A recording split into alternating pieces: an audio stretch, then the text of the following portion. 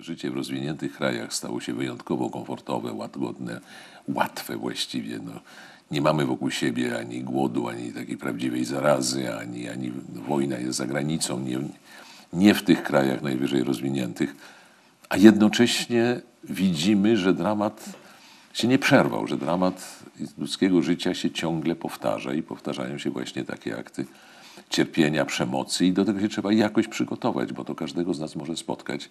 Mimo, że na pozór jest ciepło, bezpiecznie, syto.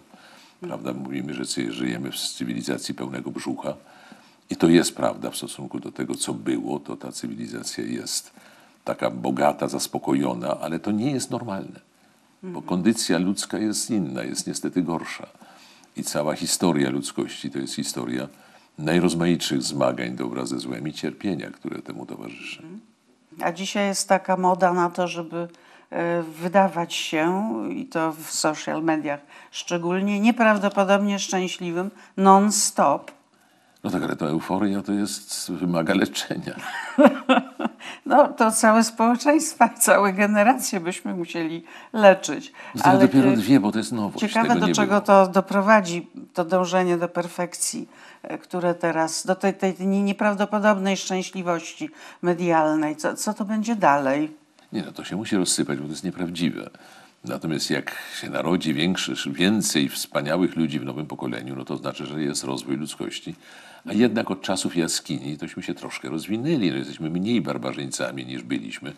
Czyli Choć poza nie wiadomo, rozwojem czy jesteśmy szczęśliwsi. No tak, ale ciągle mamy kłopot z tym, jak sformułować to szczęście, która to definicja z tej grubej książki Tatarkiewicza, która jest o szczęściu. I tam widać, jak różne rzeczy rozumiemy przez szczęście, więc taki dobrostan to niekoniecznie jest to samo co szczęście. E, Ale wracając do liczby doskonałej, e, chciałabym jakoś, e, nie wiem, dojść do jakiegoś wniosku, bo w tym filmie na końcu pojawia się nadzieja. Nadzieja na to, że jednak jest lepszy świat.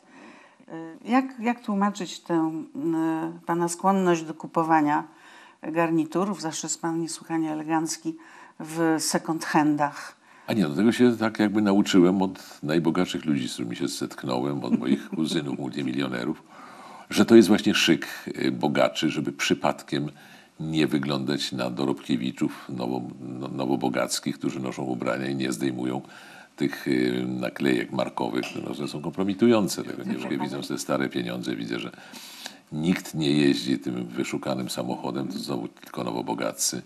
Tych wysokich zegarków, nawet mam gdzieś zdjęcie z takiego przyjęcia, gdzie zapytałem, żeby wszyscy pokazali zegarki.